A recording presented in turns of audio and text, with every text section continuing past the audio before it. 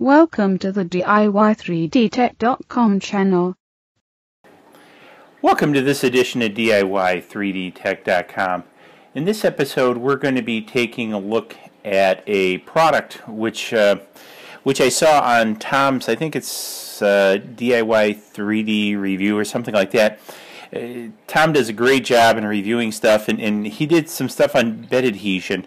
And one of the things I noticed is this 3D-EeZ, which was one of the the products that he uh, used, and I decided to go ahead and order some and give it a shot on the Da Vinci's because one of the things I've been using glue stick for a long time on the Da Vinci's and it works, but you know it's really not the best, and it really seems a little bit crude. Um, the other piece is I really don't like ABS slurry, so I you know my makerspace is in uh, the basement of, of my home and while I have installed ventilation in this room, um, you know, because of the smell of plastics and dust and everything else and the laser cutter, it, you know, I just still don't like um, the fact of the smell of, of acetone.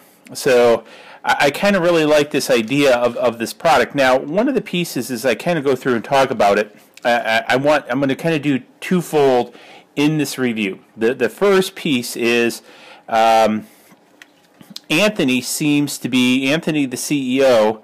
Um, it seems to be a smaller company, which kudos to you, Anthony. You know, the entrepreneurial uh, spirit is alive and well here in uh, America Minnesota. It looks like so.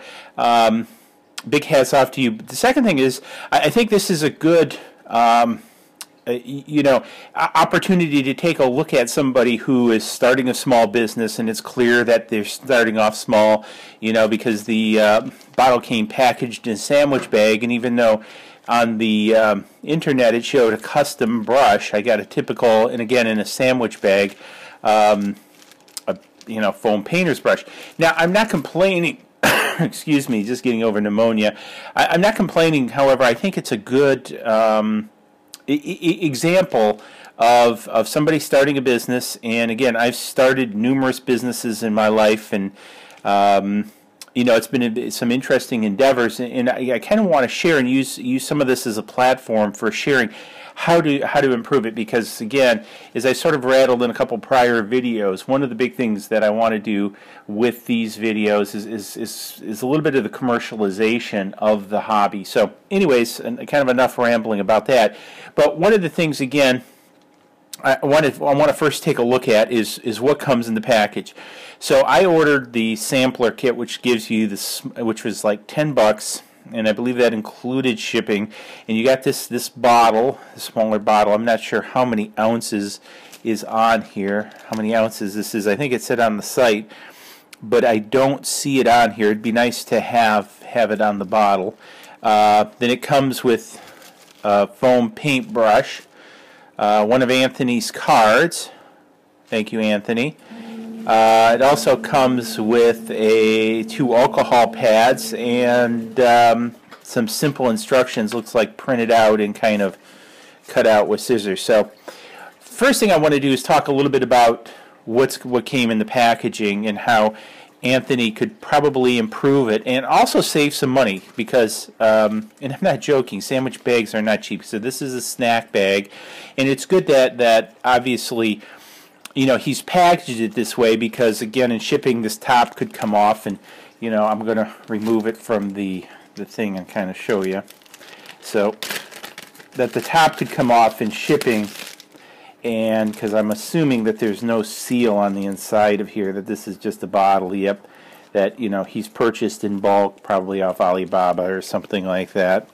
So, kudos, but one of the big tricks to if you're if you're going to do something like this, um, go onto eBay, buy a shrink wrap machine, and shrink wrap plastic.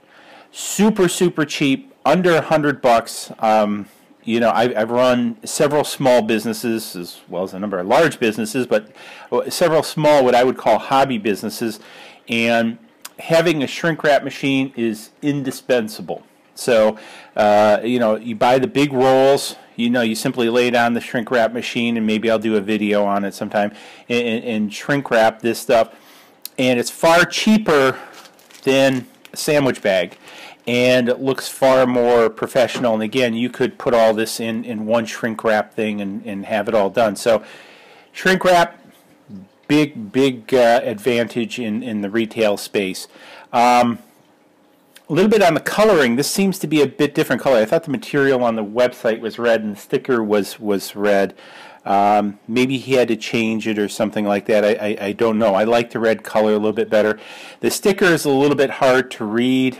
Um, you know, not that it may affect the product or not.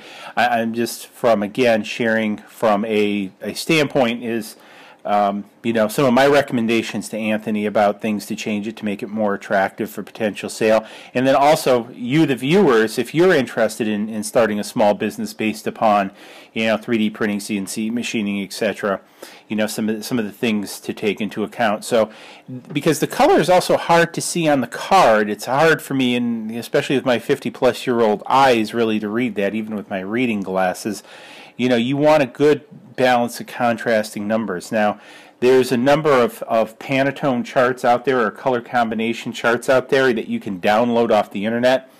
If you're going to start a business, go get one of those color charts. Pick your colors and your complementary colors off that chart. I cannot stress that enough. A lot of people have already done a lot of work for you for free, so don't intend to be your um, own color pickers. The other piece is, is uh, he has a domain name off sleepyetel.net, uh, but yet he has a domain 3d-eez.com.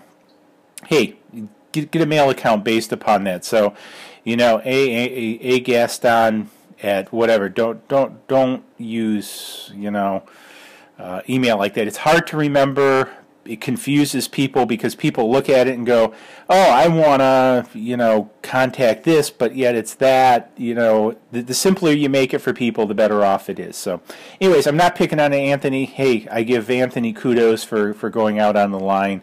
Um, however, again, I think these are just some simple things that are worth mentioning from a business aspect um, that could help Anthony as well as help you if you're interested in doing something like this. Because again, I, have done a number of businesses over the years, and um, you know, hey, I've lived through a lot of this stuff. So just kind of sharing. The other piece is the instructions. Nice that nice that it came with some instructions. Uh, again, if you're going to do it, I know you want to get get away as cheap as possible. However, first impressions are the most important, and especially in making margin. Now, for ten bucks, I tell you, I think shipped. I can't see how Anthony made a lot of money here because by the time I figure up a, a few dollars for everything here, Anthony's time, you know, ten dollars is a pretty cheap price for for this product. And again, it, it's a little bit of an intro type thing because again, he's selling, I think, bigger like buckets of this stuff. But I, I'm really interested, number one, to see how far this goes because on his website some folks claim they're, they've gotten like 100 prints out of one maintained application of this stuff. So, um, you know, theoretically, this bottle should last for a long, long time, and it was 10 bucks. So, uh, we'll see. So, in short, what this says, so it, just for clarity, I've already cleaned the bed here.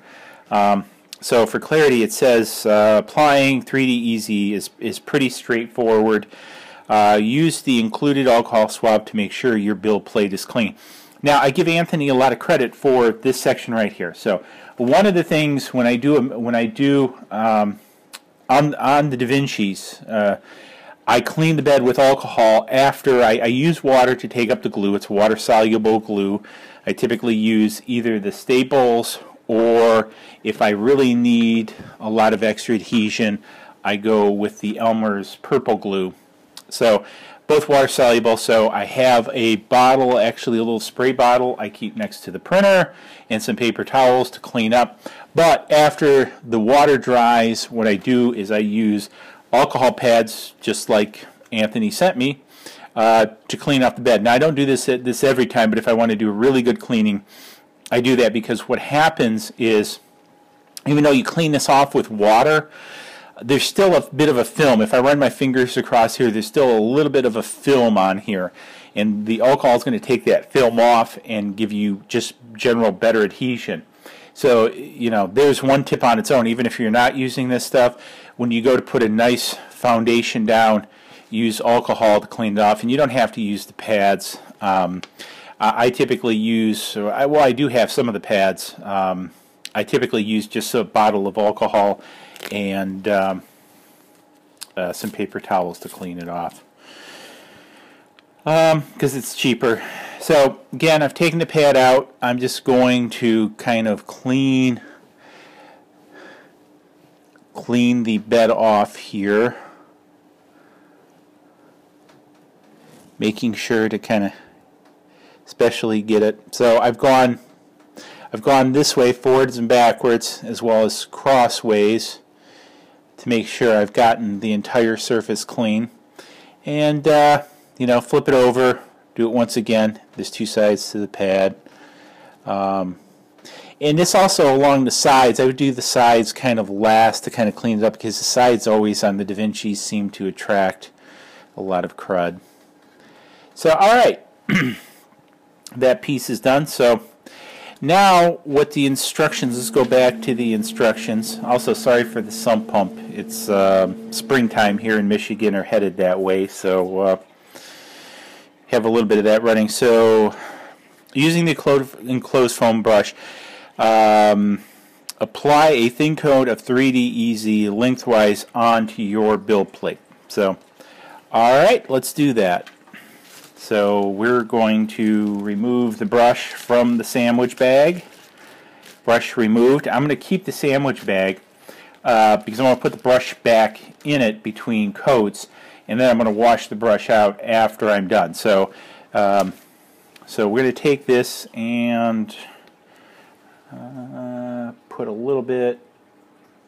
I'm really not sure. Let's start with that much, and we'll see how it goes as we paint it on. So it's a nice, nice, pretty blue, and um, might take a little bit more than I think. So that of course, the brush is going to absorb a little bit, so let's, let's put a little bit more on this time and see. Um,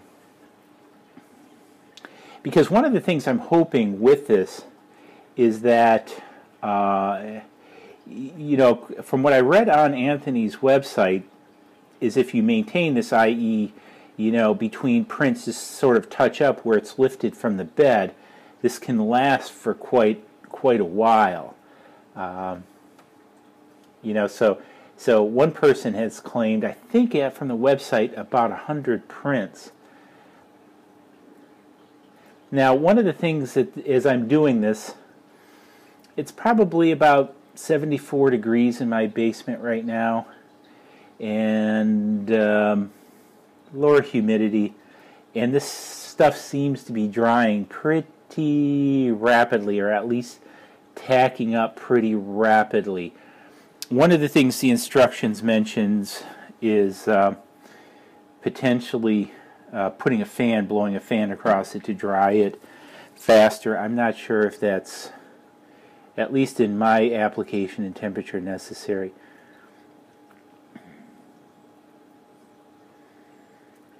Now, one of the other things that uh,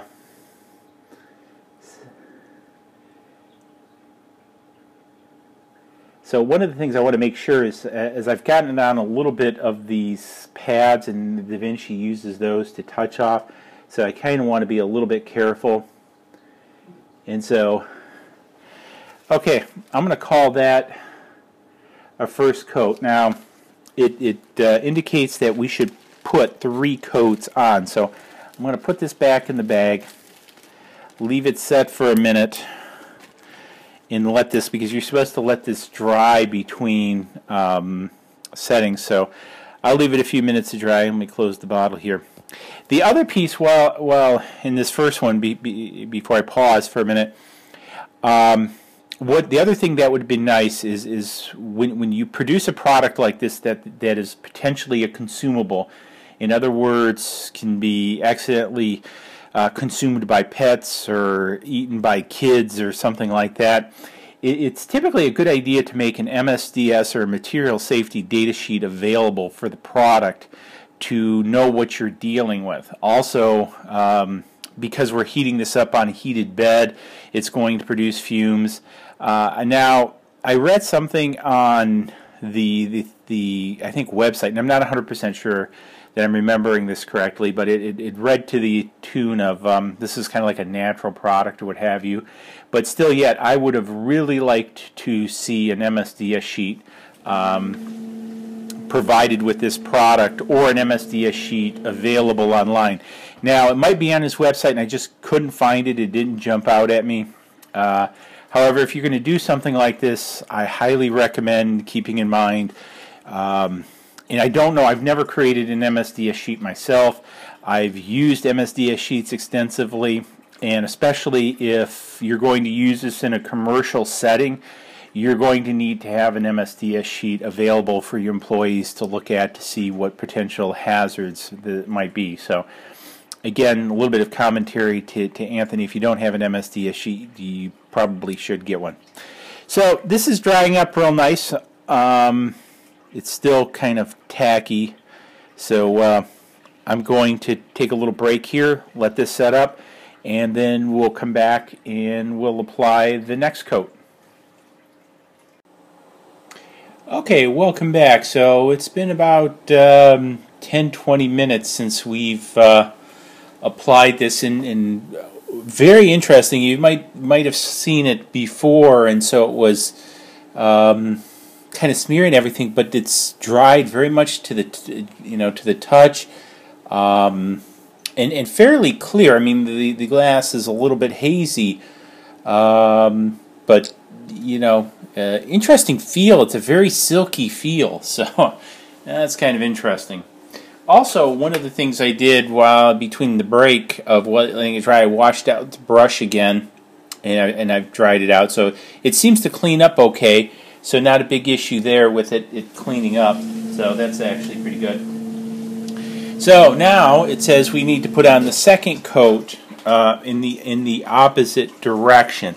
So what I'm going to do is I'm going to lay down a couple lines here, sort of like ketchup or mustard, and let's see how that works. The viscosity of this is, is fairly like a thick hand cream, so if that's of interest or importance to you. Um, so I can kind of see how um, I, I, I, think what am, what am I trying to say here? I think this could take quite a bit to create the the bed liner more more than I think I anticipated. Um, which I don't know if is a good or bad thing, uh, you know, because it's not that much more. I've still uh, you know, so far going on my second coat here, still haven't used too much of the bottle. I am kind of curious to see how much at the end of the day. And, and I'm trying to, to really, you know, since I'm doing a review on this, get it um, all the way to the edges. Now, uh, you know, again, because one of the things that the Da Vinci does is it does that weird, I should say it's weird, but that test print off to the side or runs that brim on the side so one of the things that I want to do is, is I want to get this uh, very much to the sides. And I forgot to clip on the mic, so I think you probably heard me um, before. So everybody's complaining about my audio. I shouldn't say everybody, but some people were complaining about my audio. So I'm trying a little bit different setup here.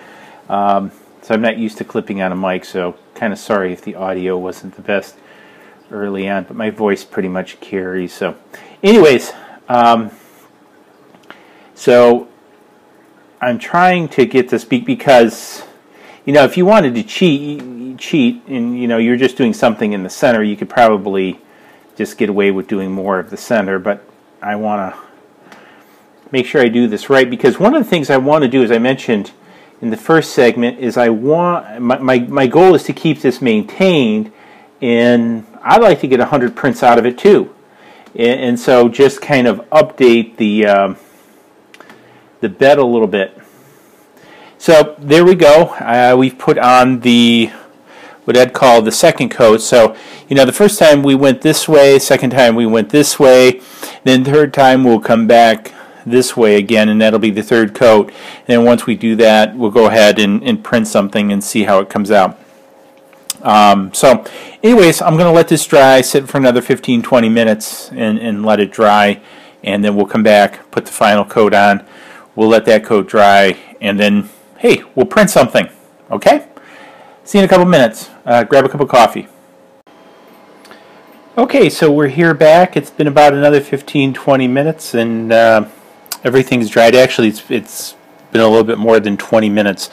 And, and again, one of the things that we see is the um, the, the kind of like you know if you wax your car how you know when it's dry this basically looks the same way as, as it dries to a solid haze.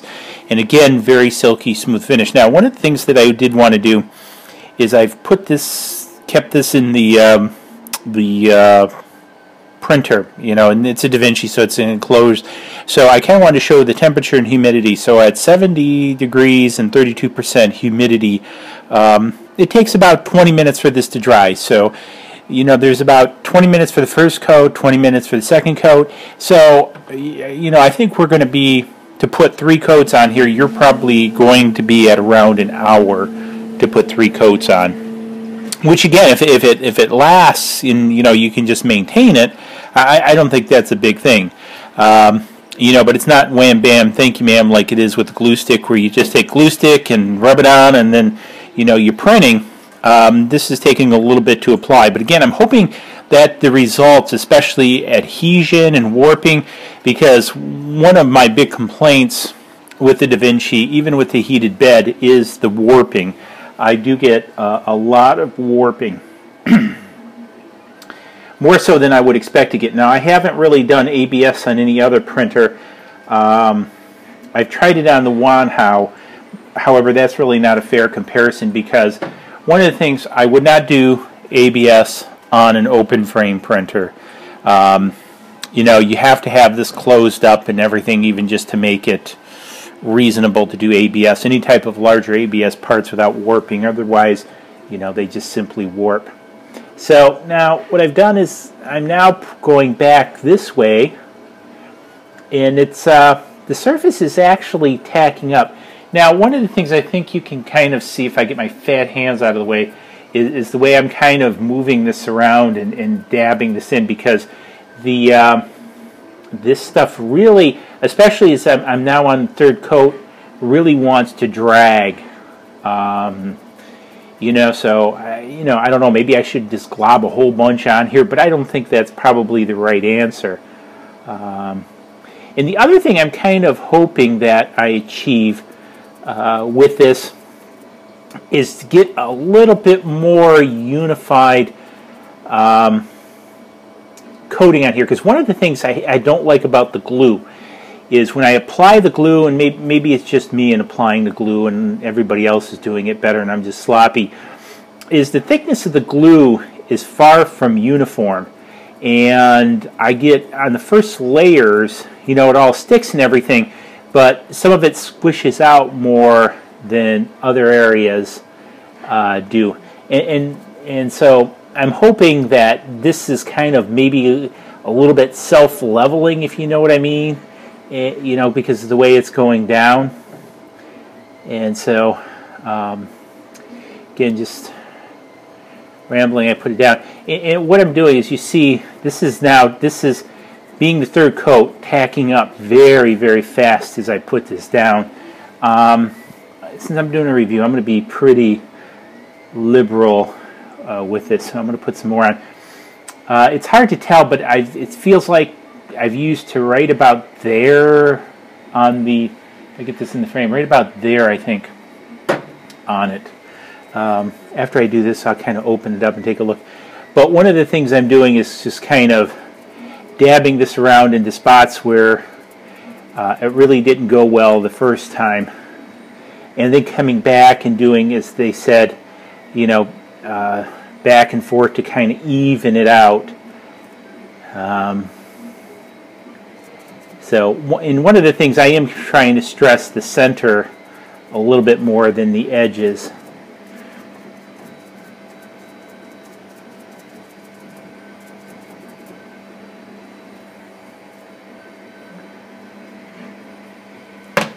Uh, I think that's actually pretty good.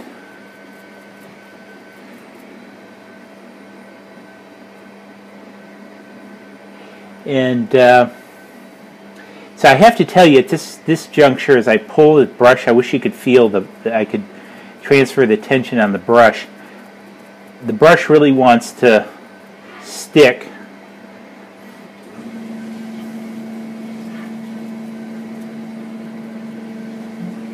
So, well, that looks like the third third layer. So there's what the brush looks like. So I've I've cleaned and dried the brush between applications. Uh, and one of the things before I do print, I am going to take some paper towel and a little bit of alcohol and clean these metal pads off. I've gotten a little bit on there, shouldn't be an issue. Um, however, especially that back one is where the the Da Vinci touches off of and so I want to make sure that's clear so I got a good good contact and so we'll let this sit another say 20 minutes and then um, we'll come back we'll take a look at what it looks like um, interesting that this has gone up two degrees since I've applied the um, the material and this is closed the temperature hasn't changed I don't know maybe this material is exothermic um, because that did start out at 70, 70. I don't know, maybe it was me holding it, so we'll have to see. That's interesting that that changed. Um, anyways, all right, I'm going to go grab yet another cup of coffee. So this is a three coffee project, easy. So um, then we'll come back, I'll show you it dried, and then we'll start to print something, and we'll see how it works. So I wanted to try something. It's not dry yet, but what this the temperature change here was kind of interesting. So I went and got my infrared thermometer, and so one of the things. So I want to take. I'm going to just take a measurement off the steel bed over here uh, of the printer, and in short, I've got 68.4 degrees Fahrenheit. Now I'm going to take a take a reading off the bed itself with the with the uh, 3D-EeZ on it. And actually, the bed is quite a bit cooler. I found that very, very interesting than than the uh, the bottom of the case. So at, at, at uh, basically 65.2 degrees, so it's about three degrees three degrees cooler actually. So um, I, I think it has to do with the evaporation. It doesn't smell like there's any alcohol or anything in this, but there's something that is a, probably evaporating and wicking the heat away, and that's why the heat loss. Um, so I don't know why the change of the two degrees temperature in here. It might be because the printer's on and the LEDs and the electronics are probably warmer in the case. So that's that's the only thing I can figure. So this stuff is not exothermic. Um, if anything, it's it's the inverse, and it's as it dries, it actually cools. Um, so again, I'm making the assumption, so those of you don't send me hate mail, um, that this is also contracting a bit since it is cooling and it's not exothermic and expanding. So just kind of wanted to share that little um, bit with you as, as this dries. So I'm going to go back to my coffee and I'll see you when it dries.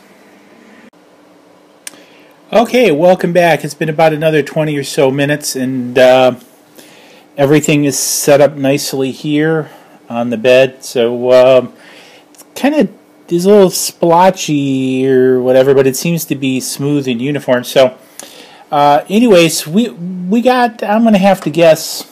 I've given it pretty close to an hour uh, to you know do this process, and it's probably, uh, in, in, all frankness, been about mm, maybe two hours in between because I've gone off and done stuff while you know I've been waiting for it to dry, etc., like that. So, um, you know, that's sort of been the case here. So, just kind of give you an idea. But I think if you're going to go through and apply this, allot yourself about an hour of time.